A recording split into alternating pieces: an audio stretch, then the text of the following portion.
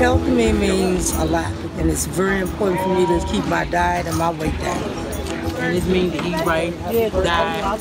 So it means a lot to, to be here a little longer. Oh, it means preventing diseases and health issues like diabetes, cholesterol, hypertension. Healthy to me is quality fruits and vegetables so that you can be healthy. Being able to take advantage of the farmers markets east of the Anacostia and give us some delightful fruits and vegetables. Be serious about it, eat right, exercise, do what is expected of you. That's what health means to me.